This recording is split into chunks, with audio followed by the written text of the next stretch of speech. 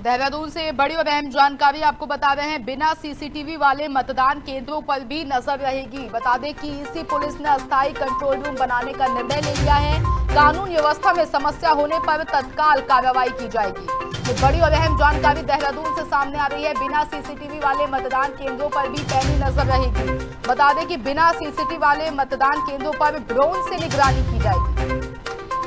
यह अहम जानकारी सामने आ रही है। ईसी पुलिस ने अस्थायी कंट्रोल रूम बनाने का फैसला किया है। चुनाव के मद्देनजर कानून व्यवस्था में समस्या होने पर तत्काल कार्रवाई होगी। ये बड़ी और अहम जानकारी आपको बता दें, लगातार प्रशासन और ईसी सख्त है, जिसको लेकर अब अस्थायी कंट्रोल रूम बनाने का भी फैसला लिया गया है। और बिना सीसीटीवी वाले मतदान केंद्रों पर ड्रोन से निगरानी रखी जाएगी।